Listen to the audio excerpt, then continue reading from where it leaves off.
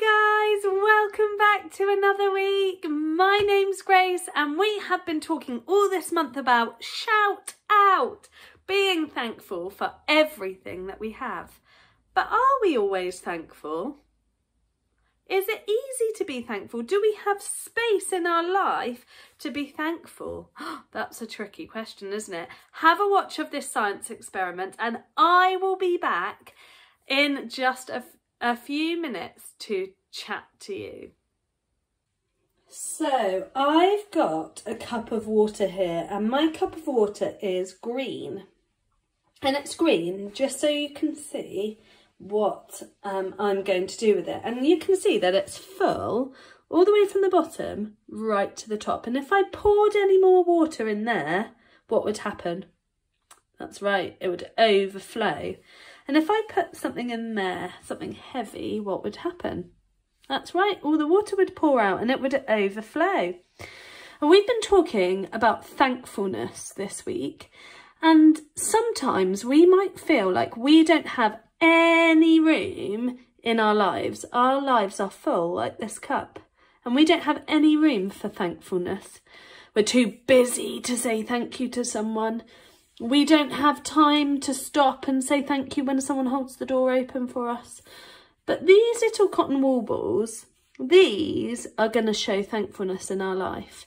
And even though our lives are very full and busy, look what happens with thankfulness. Do you think that water's going to fall over the top? Oh, one goes in. How many do you think we can get in before that water overflows? Can you see them all falling down? Do you think that water's going to fall over the top? Look how much thankfulness I have in my life. When I stop to say, Thank you for playing with me. Thank you for holding the door open for me. Thank you for helping me with my homework. Thank you, Mummy, for making dinner for me. Thank you for loving me, God. Thank you, church, for all you do for me. Look what's happening. Our lives can be full of thankfulness without that water spilling over the top. We can say thank you for things, thank you to so many people, and still have room for more and more and more. There is always room in our lives, no matter how busy we are, for thankfulness. Look at that. Our cup is still full but we still have room for more and more thankfulness. How amazing is that? God gives us room in our lives always for thankfulness. We are going to watch our video now and uh, we will be back in just a second.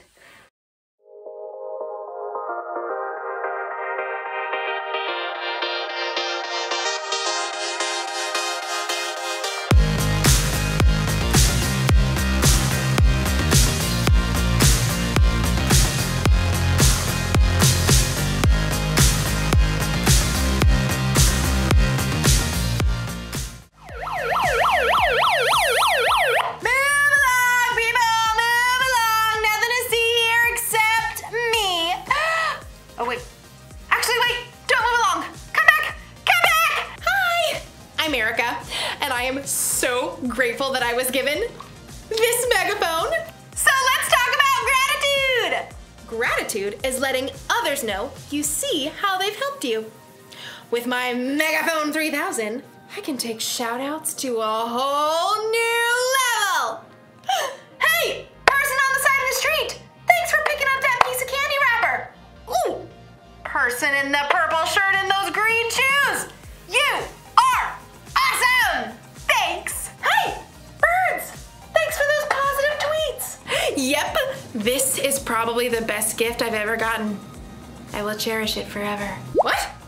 Megaphone 4000 just came out today with 27 built-in voice modules and Bluetooth capabilities! That's way better than this old thing. Thanks a lot, person person who bought me this lame megaphone probably got it on sale. In today's Bible story, we'll hear about some people who weren't happy with what they were given and had a real bad attitude about it. That should be fun, right? Sure. Whatever. See you in a bit.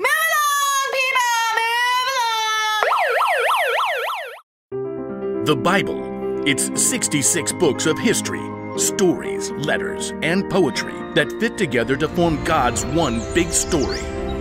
The epic adventure of how He created us and loves us so much that He made a way to rescue us. As we travel through the Bible, from Genesis to Revelation, we discover people who met God and found their lives changed forever. And now for an amazing story, inspired by the book of Matthew, chapter 20, verses 1 through 15. While Jesus taught in many different ways, he often shared the most important truths as stories. He used the things and animals and situations in people's everyday lives to help them understand things that were bigger. One day, Jesus explained to his closest friends what the kingdom of heaven was like, and he used a story to help it connect. Now, if he told that story to us today in our world right now, I think it would go a little something like this. There once was a man who owned a large vineyard. Here at Grape Escape Vineyards, we specialize in red, white, and green grapes. One bright autumn day, the man called in his manager to find out how his harvest was doing. It's doing great. Thanks a bunch. We shall pick the grapes immediately before the beetles nibble them up. That's some good raisoning. The next morning, the vineyard owner rose while it was still dark and hurried to the center of town. He arrived at around 6 a.m., and there were people still standing around noshing on grape jelly muffins. Are you looking for work? Yes, indeed. How much do you pay? $100 for the day. Precisely perfect. Let us proceed. The owner led the workers back to his vineyard. Baskets, hats, uh, d- d- don't squash the grapes. Oh, what happens if we do that? They might whine a little.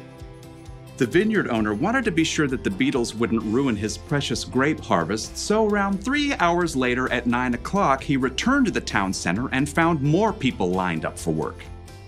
You come pick grapes for me. I'll pay you well. Good deal. Let's go.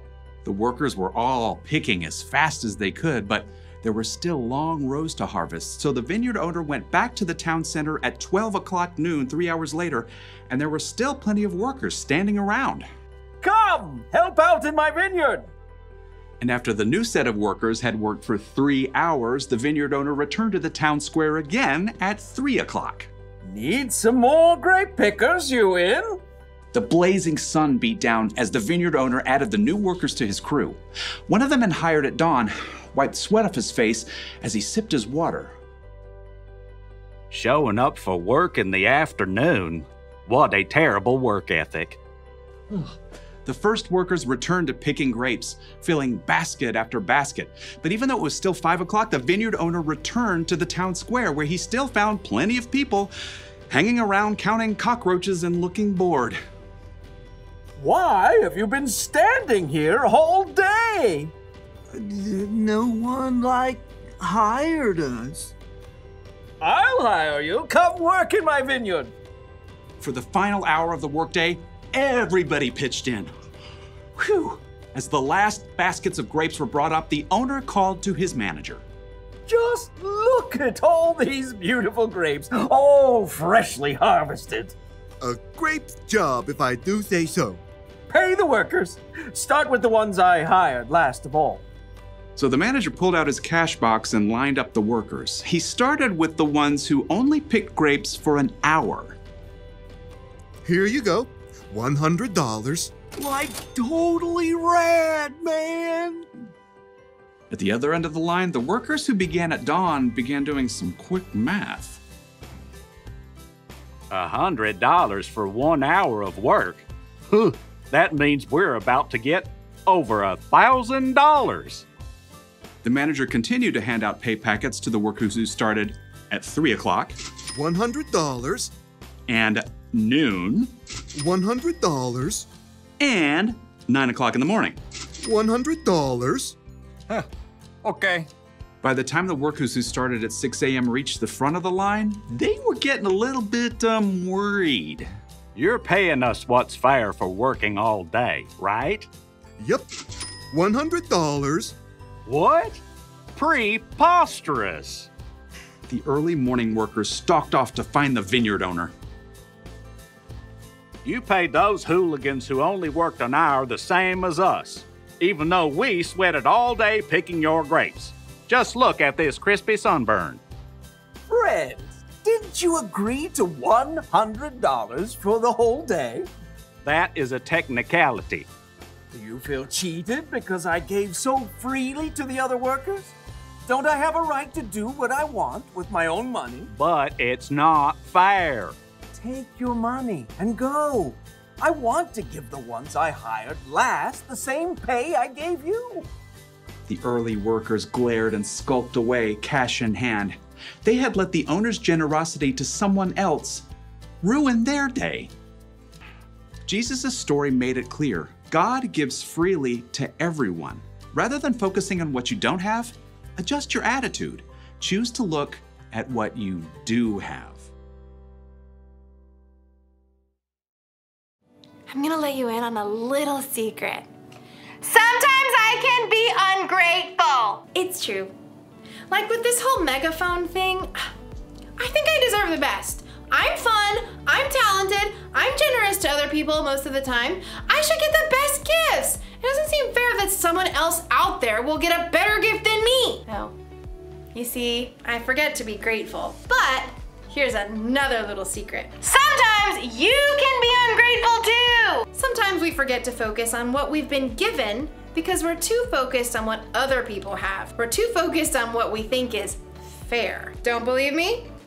Ask yourself these questions. Am I jealous when someone has more or better stuff than me? Or do I think I deserve better than other people because I am better than other people? Or do I count my presents at Christmas to make sure I have more than anyone else? If you would say yes to any of those questions, you might need a little gratitude adjustment. All you have to do when you're feeling ungrateful is to take a second and look around at all the things you have to be grateful for. So, maybe I don't have 27 voice modules and Bluetooth capabilities.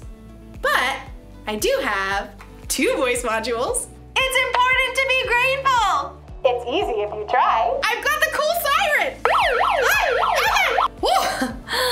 Sorry. Things aren't always fair. But sometimes that's a good thing. Because guess what? Jesus died for our sins. That wasn't fair. And we didn't do anything to deserve that kind of sacrifice. But Jesus did it anyway to show how much he loved all people. So here's the one thing to remember today adjust your attitude. Be grateful for what you've got. Don't worry about the stuff you haven't got. That's a lesson for me too. Oh, sorry. That's, oh, oh sorry. Sorry, okay. Oh. See you next time.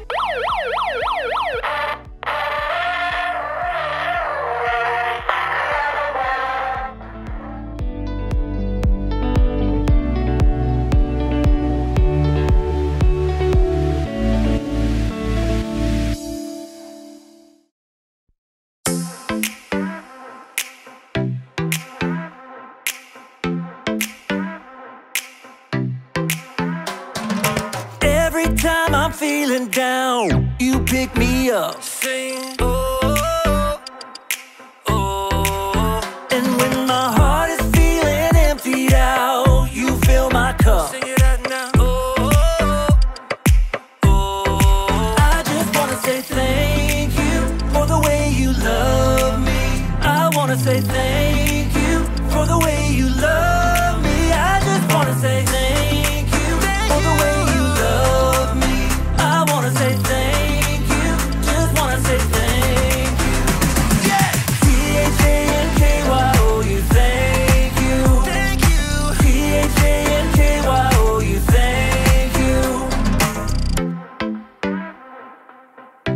Here we, here we go, verse two. I'm grateful for the way you've been a friend to me. Sing, oh,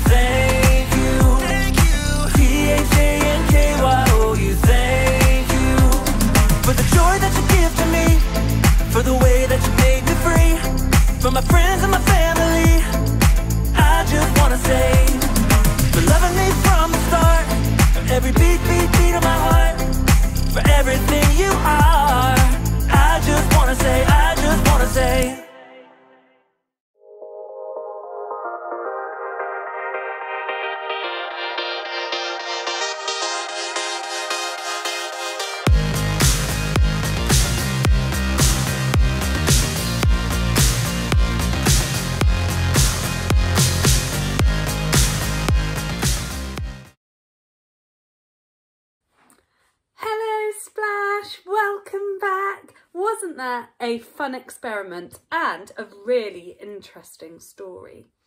In the story, did all the vineyard workers have a good attitude? No, they didn't, did they? They found it really, really tricky to know why some were paid more than others. But this month we've been talking about thankfulness and being thankful for what we have, not what other people have, but what we have. And that's really tricky sometimes too, isn't it? Maybe when your brother or sister gets a bigger biscuit than you. That's really difficult to be thankful, isn't it? Maybe when a friend chooses another friend to play with instead of you. That's a really tricky time to be thankful. But the Bible tells us to be thankful all the time. And even though that's really tricky, we can ask God to help us. And this month we've been looking at five different colours, haven't we? And they have helped us to be thankful. So we've looked at blue, the colour blue. And we've been thankful for people who help us. We've looked at the colour yellow and we're thankful for something that God has done for us. We've looked at the colour red and we've been thankful for something that we love about Jesus. We've looked at the colour green and been thankful for something we've learnt. And we've looked at the colour black and been thankful for something that we can see. Now, like I said before, it's not always easy to be thankful, is it? And we've got some things that say different things here and there's situations where we might find it hard to be thankful. So, so let's have a look. Let's look at our first colour first, blue. This work is so hard. You might be doing some spellings or some reading or some homework at home and it's so hard. But what did the colour blue remind us? Thank you, God, for people that help us. Let's have a look. What can we be thankful for when we're finding things so hard? My parent can help me. Someone at home who looks after me could help me. Thank you, God, that my parents can help me. What have we got next? My friends have more than me. That's a tricky colour to see because it's yellow. My friends have more than me. Maybe it's more toys, more snacks, more lunch. My friends have more than me. What could we say? Thank you, God, for all that I have. So instead of looking at what your friends have and being cross that you don't have the same, thank you, God, for what I do have. Thank you for my lovely home and my bedroom and my food and my friends. Thank you, God, for everything I have. This is a tricky one, isn't it? I am worried. I am worried. But what does red remind us of? Something we love about Jesus. And something that I love about Jesus is that he always loves me and he always loves you too. So instead of be, focusing on being really worried, we can adjust our attitude and say, thank you, Jesus, that you love me. right, I'm feeling sad that I can't meet my friends. At the moment, it's really tricky to meet our friends like we normally would, isn't it?